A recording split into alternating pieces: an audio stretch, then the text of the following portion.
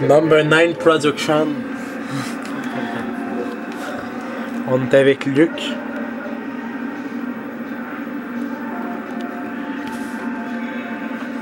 C'est notre euh, testeur de jeu pour Petit Lama Pas Propre. Ce soir, on teste euh, Halo War. Euh, ici, on voit Luc présentement en train de jouer à un jeu. Euh, je sais pas s'il y aurait des commentaires pour nous sur le, le- le jeu. Achetez pas ça. Ok. Luc avec euh, ce magnifique habit. What the fuck is that? C'est ma mère qui l'a tricoté Elle a tricoté ça?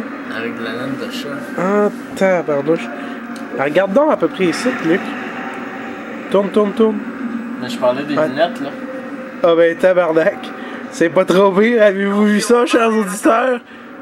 Une vraie toche d'Harry Potter?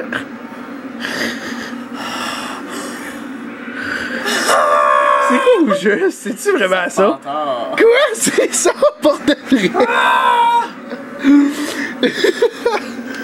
non, mais en vrai, en plus de faire. euh, on décolle avec tout ça, mais en plus de faire. Hey, c'est tombé fucked up ça. Renfort. C'est quoi ça? Quoi? Il y a genre de la. Ici section Alpha. Ils sont de l'ombre dans ta télé, en tout cas. que- voit-tu? Hein, c'est comme du 3D. T'as pu si je zoom full.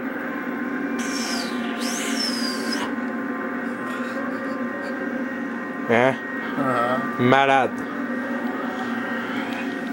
Mais euh, en plus de tester euh, Hello euh, War, Luc a des magnifiques lunettes de gaming. c'est des euh, lunettes que c'est pas encore sorti sur le marché. Euh, c'est fait par euh, exactement c'est BlackBerry qui viennent de sortir ça. C'est une nouvelle division de lunettes. Euh, il paraît qu'on voit bien. Personnellement, je les ai pas testés. Peut-être que Luc pourra nous en parler. Ah, c'est une expérience euh, hors du commun. On dirait qu'on est dans la quatrième dimension.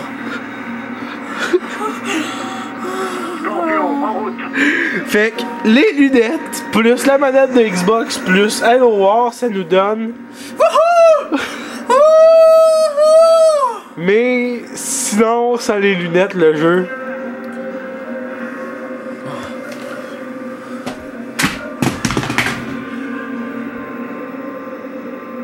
What the fuck? Je vais